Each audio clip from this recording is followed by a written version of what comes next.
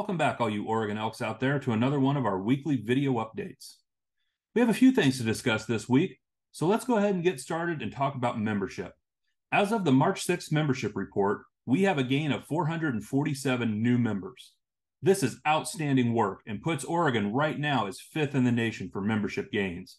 In fact, this is the first time in over 40 years our organization is looking at back to back years of membership growth, and we are a part of that history making effort.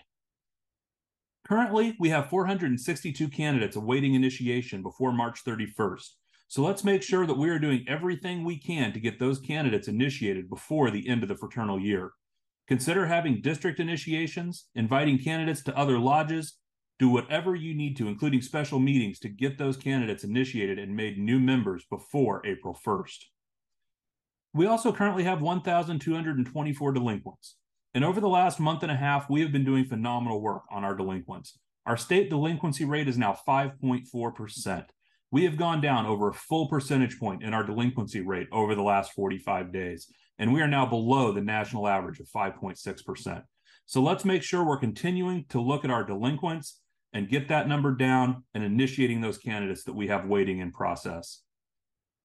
So far, Oregon has added over almost 3,000 new members this year. Let's make sure we finish strong and keep our foot on the gas for membership gain.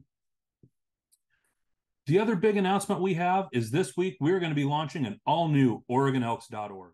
Our brand new website is going to be faster, more user friendly, and easier for you to find information.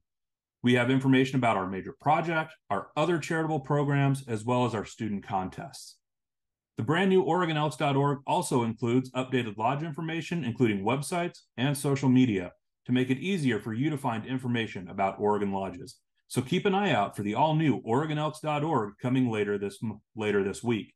And if you've been a registered user on OregonElks.org, you will be receiving an email later this week with instructions to sign up for the new members-only area of OregonElks.org. Thank you. Have a great week, and let's remember: get those candidates initiated, and let's finish membership strong with our foot on the gas and no brakes.